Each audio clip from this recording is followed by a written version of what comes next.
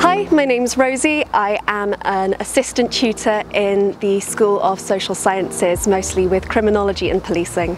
I am very into theatre, so I do a lot of theatre making and a lot of theatre watching.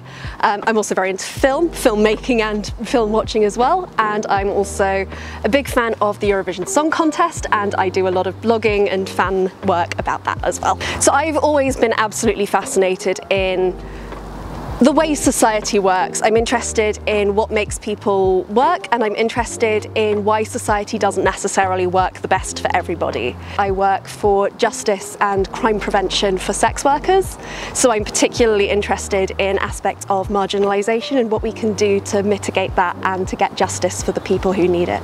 A lot of my work is all about sort of marginalised sexualities in particular. I'm a member of the queer community myself and I've always been surrounded by people who are engaging in behaviours that people might not necessarily find normal. They might be a little bit weird or something like that. So I've always been fascinated not just in the sort of psychology behind it and why people enjoy them, but also the community aspect as well.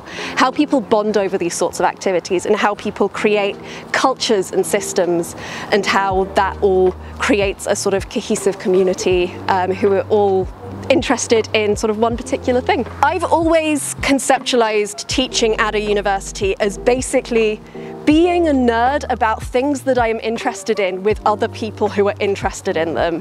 And the passion that the students bring and the knowledge that they bring and the enthusiasm for the subject that we have every time we step into a classroom is just absolutely wonderful.